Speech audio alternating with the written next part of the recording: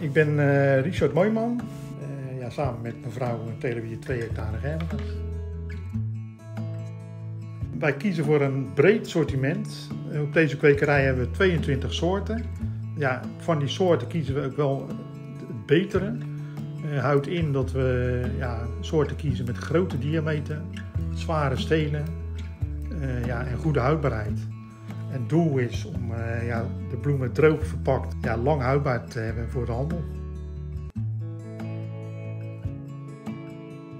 De bestrijding in Gerbera doen we veelal uh, biologisch. Dat is eigenlijk met uh, beestjes, de beestjes bestrijden. Dat kan in Gerbera goed, omdat wij het blad niet nodig hebben. Telen voor de bloem. Dus wij kunnen wat schade en wat, wat beestjes accepteren in, de, in het gewas zelf. Nou, daar komen we heel ver mee en dat het resultaat dat wij de chemische bestrijding uh, op een heel laag niveau kunnen houden.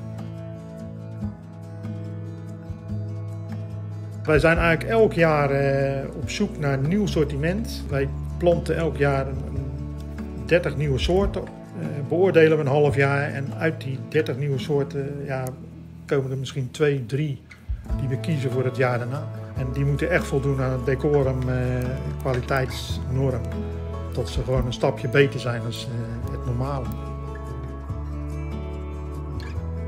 Nou, met uh, behulp van de nieuwste teeltechnieken en teeltinzichten produceren wij de beste kwaliteit. Daar zit onze uitdaging in om dit op een milieuvriendelijke en betrouwbare manier te doen.